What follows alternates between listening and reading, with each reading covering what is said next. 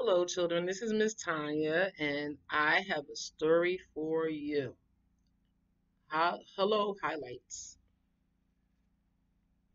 In this story, we're going to read about napping, and we're going to see all the beautiful pictures here. Birds nap in the leafy tree. Fish naps in the deep blue sea.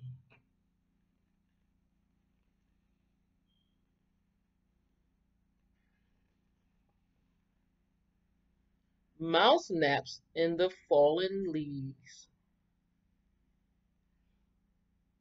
Frog naps in the soggy bog. And I nap on daddy's lap. Do you like to nap? Little bird, he's sleeping in a tree on the branch. Or do you like to nap like the fishy? He's under the sea, taking a snooze. Mr. Mouse in his fallen log. Mr. Frog on his soggy bog.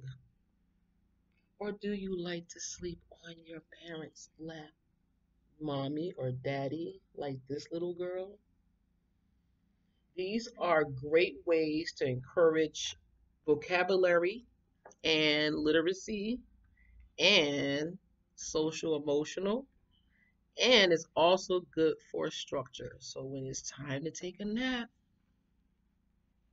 remember mr bird.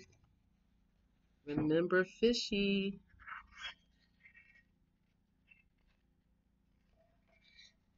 Remember the quiet mouse mr frog ribbit and you can always take a nice nap with your mom or dad. Until next time, bye.